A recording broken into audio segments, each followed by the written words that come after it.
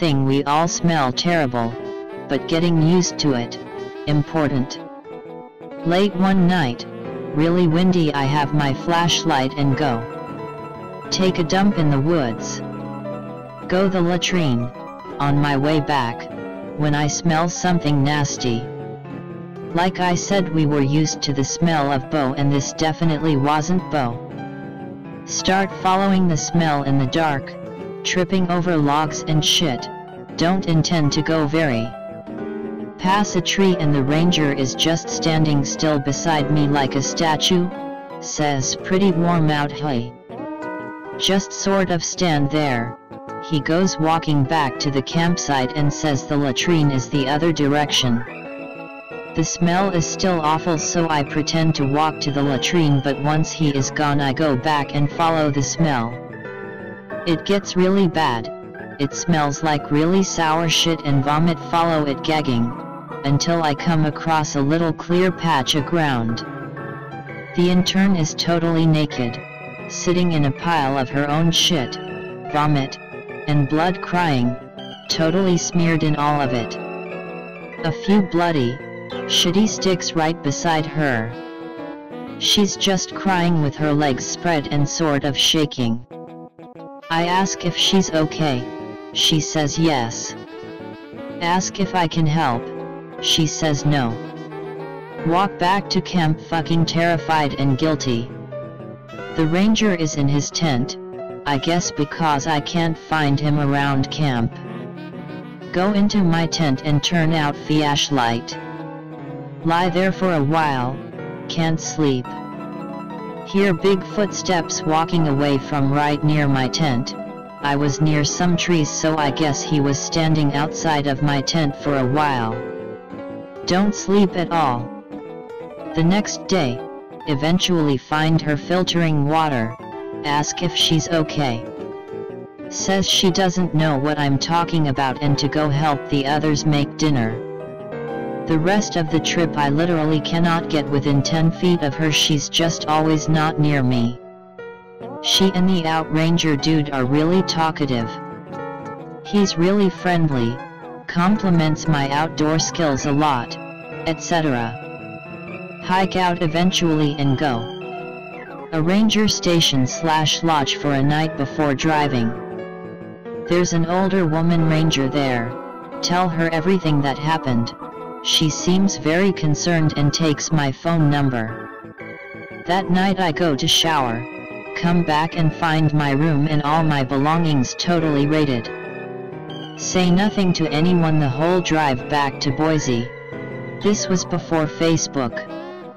I've tried to look some of them up since but only ever had luck with the intern who I eventually think found on a USFS website by pure chance when I was researching something totally different. It only had the first name listed but the face looked right.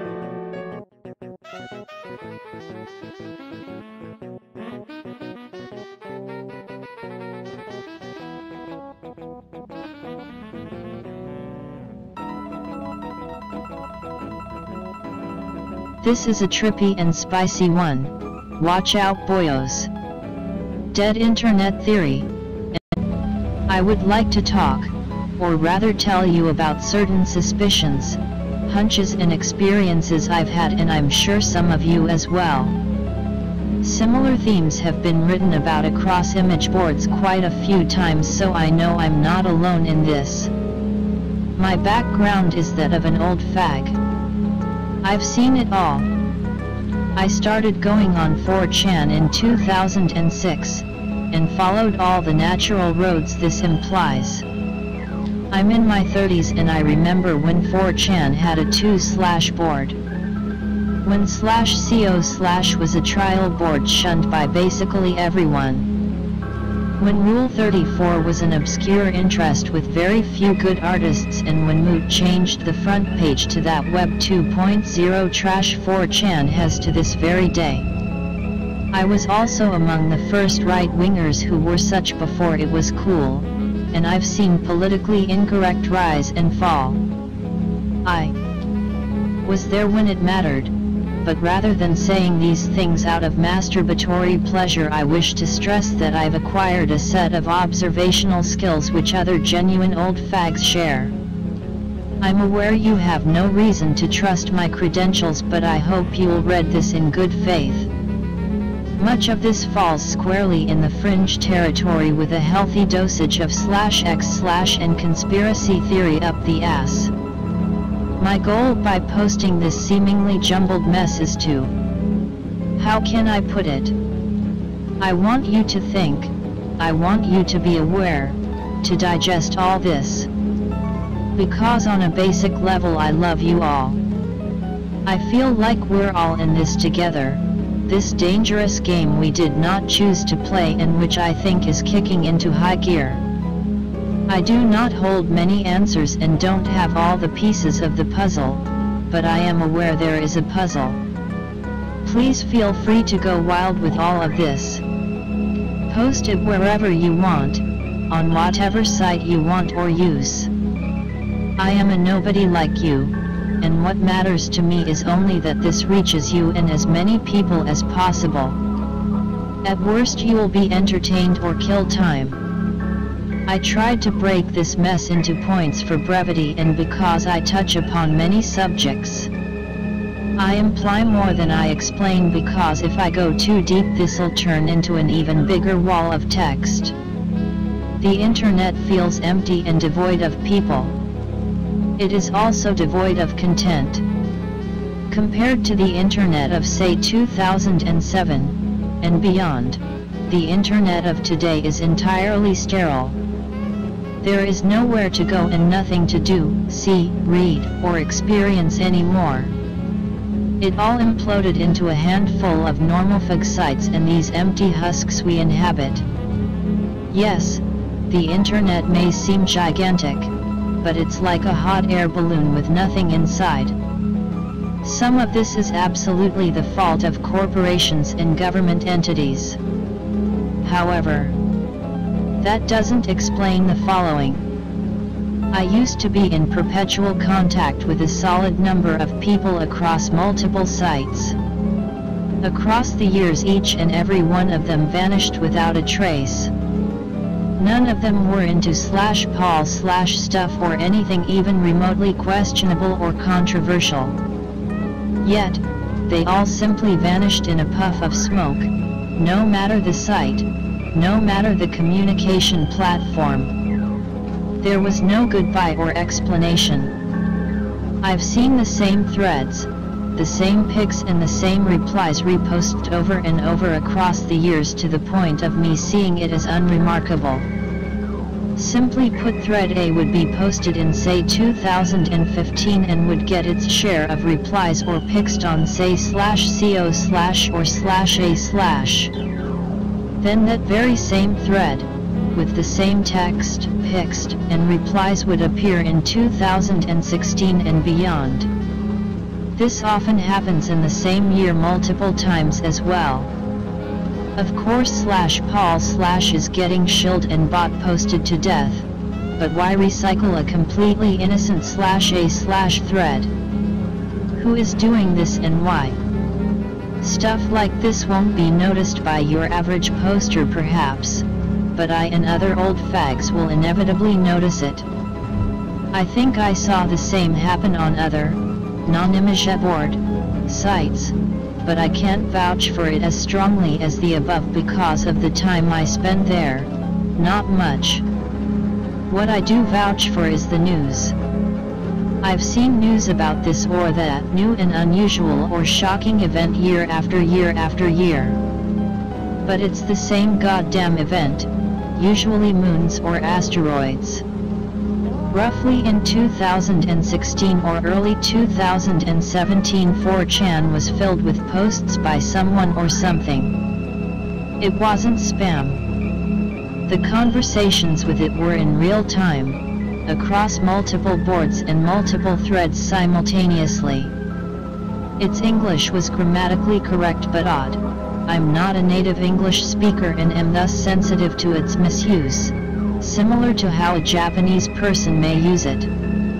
A sense of childlike curiosity and a childlike intellect emanated from these posts. It posed a lot of questions, usually as if trying to understand the emotions of the posters it was talking to, as if unfamiliar with human emotions. Communicating with this poster was an odd experience, I could sense something was off but not malicious. I am absolutely certain this was an AI of some sorts. This poster was active only for about a week, and as far as I know nobody has ever mentioned or noticed this anonymous. Its replies were always on topic. But the above-mentioned childishness clashed with the apparent knowledge it possessed, it was the knowledge of an adult person of the sort. Raptor Jesus, who went extinct for our sins. First it was this reptilian messiah, then foul bachelor frog, and then Pepette. Am I the only one who sees a clear evolution, a link? It's as if this meme or entity or whatever the fuck was on 4chan since day one, and has grown within it from the tiniest seed. Yet Raptor Jesus was fully just a joke, there was nothing serious or mystical about it. Reminder. I was there. Remember that TED guy with the right-wing talk show, CCA prior to 2010? Whom 4chan ruined for the lulz. Remember Anonymous vs Scientology? Remember that fake bomb threat aka exploding yellow van? Compare that with what Anon did through slash pol slash T and the terrorist accusations thrown at Anon today, as well as the reasons why 8CHAN was taken down. Why does this too feel as if we were all trained, groomed, led towards where we are now. Why and how did Moot so utterly vanish into Google Inc.? As an employee with very vague descriptions of what he actually does? On that note, do you remember the other Moot who was often posted for the lulz? The one with the glasses who so often ran away with donations into Mexico? I do.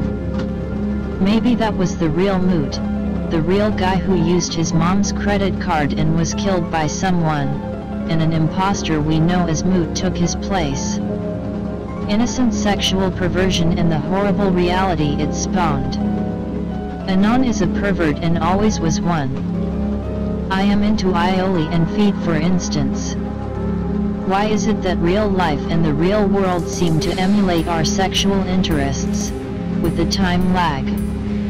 L wish to be the little succubus became an actual thing that actually happens.